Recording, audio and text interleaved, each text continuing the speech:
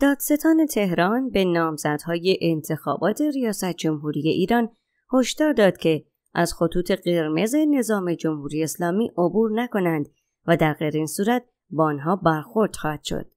علی القاسیمه روز یک شنبه نه خرداد در جلسه برای هماهنگی دستگاه های قضایی و امنیتی در انتخابات ریاست جمهوری ایران به دادسرهای تهران دستور داد که با تخلفات احتمالی برخورد کنند. وی در این نشست گفت که ضرورت دارد نامزدهای انتخاباتی در تبلیغات و سخنرانی ها از خطوط قرمز نظام عبور نکنند و در صورت عبور از خطوط قرمز نظام طبق موازین قانونی قاطعانه و بدون در نظر گرفتن موقعیت و جایگاه با آنها برخورد خواهد شد. این مقام قضایی ایران اما توضیحی درباره خطوط قرمز نداد. این دوره انتخابات ریاست جمهوری ایران با رد صلاحیت گسترده داوطلبان همراه بوده به طوری که بسیاری از گروه های سیاسی اصلاح طلب و منتقد جمهوری اسلامی می‌گویند که دیگر امکانی برای رقابت وجود ندارد.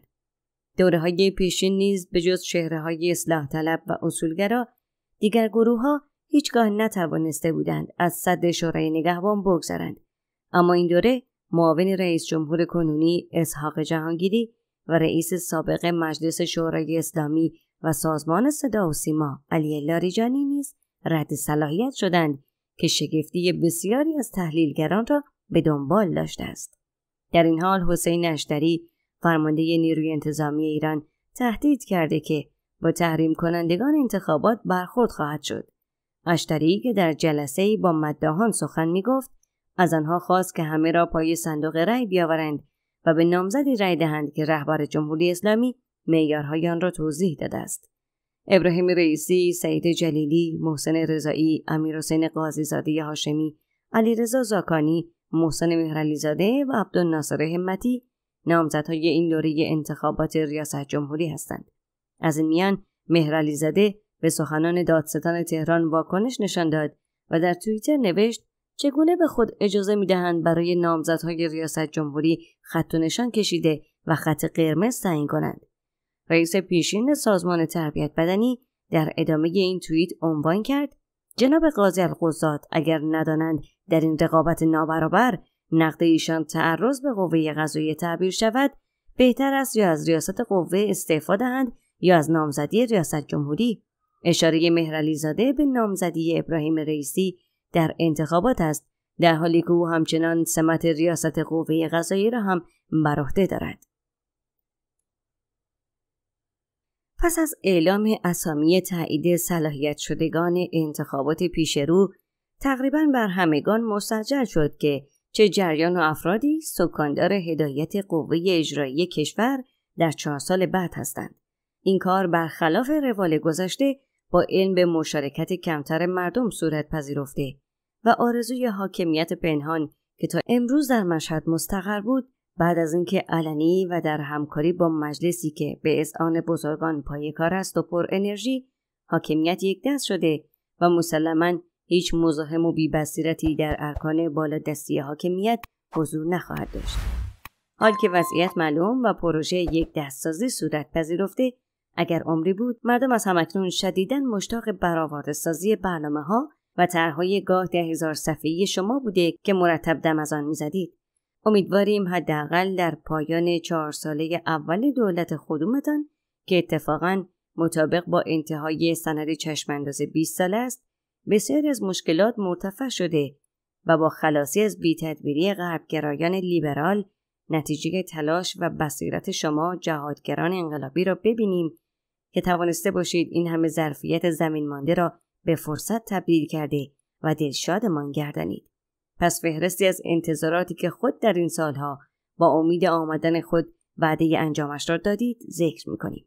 یک مسلما اقتصاد و رفع مشکلات معیشتی همواره دغدغه شما بوده است. حال منتظر میمانیم. شعار اقتصاد مقاومتی را عملی کرده و با اتکا به توان داخل به جای نگاه به خارج وضعیت اشتغال جوانان مردم را حل کنید. به پشتوانه آن همه برنامه و طرحی که آماده کرده اید ارزش پول ملی را به سامان و مردم را به جای هجوم به بازارهای کاذب در بخش صنعت و تولید مشتاق به سرمایه گذاری کرده و تورم را تک رقمی گردانید. با تسخیر بازارهای هدف سیل صادرات را انجام و با تدبیر و دور زدن تحریم ها بدون پذیرش سازمان های غربی چون FATF از اتکا به نفت خارج و صنعتی شویم. با دولت و مجلس جوان حزب اللهی سرانجام بعد از دهه ها از پیش تاریخی دامنه کنده و به قله برسیم و با بودن در پای کار و رفع مشکل معیشتی مردم شاهد برچیده شدن سازمان های چون کمیته امداد شویم. دو مردم انتظار دارن وضعیت پیش رو چنان امیدوار کننده باشد که دیگر شاهد مهاجرت جوانان و نخبگان به خارج کشور نباشیم و بلکه شاهد برگشت آنها به وطن باشیم. منتظریم با به سامان شدن وضعیت جوانان ترغیب به ازدواج شده و با ترسیم چشمانداز روشن روند افزایش زاد و ولد و جهاد در این حوزه را شاهد باشیم. 3. مردم منتظرن با آمدن شما آمریکا را چنان مجبور به رفع تحریمها کنید که همین بلا مرتفع شده و هم تمام سانتریفیوژ ها بچرخد. در جای جای کشور سایت های هسته و نیروگاه برق هسته احداث و شاهد عواید سرشار آن در سفره مردم باشیم. چهار در بحث محیط زیست منتظریم بعد از این همه بیکفایتی و اهمال مشکل ریزگردها را مرتفع گردانید. دریچه ارومیه و ها را احیا و با تحول در بخش کشاورزی شاهد مدیریت آب باشیم. برنامه های انتقال آب و بیابانزایی را متوقف و شاهد جنگلزایی بوده و با تکثیر گونه های در حال انقراض به الگوی کشورهای دیگر در این زمینه بدل شویم. هرچند نسبت به این بخش هیچگاه شاهد دغدغه و ارائه هیچ برنامه و طرحی از سوی شما و سایرین نبودیم. پنج.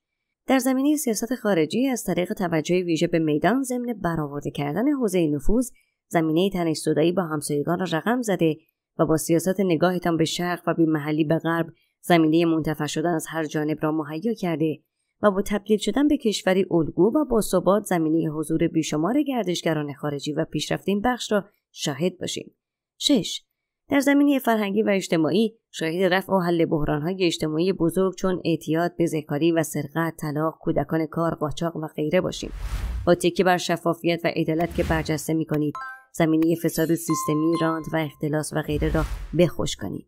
هفت با توجه به شعارها و اهداف متناسب با ظاهری که نمود می‌دهید همه طبقه ثروت و طیف چهار درصدی جدا شده و با زندگی در حاشیه شهر و عدم بروز آقازادگی و برخوردار از امکانات حس واقعی مردمی بودن و از جنس آنها بودن را که اصلی ترین شعار شماست جامعه عمل بپوشانید.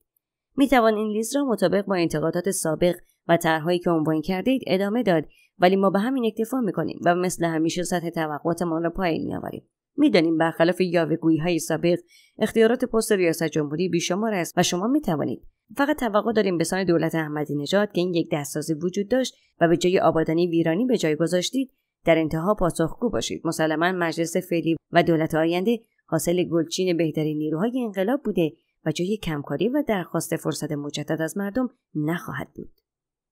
دوستان شنونده به پایان این بخش خبری رسیدیم. تا بخش بعدی خدا نگهدار.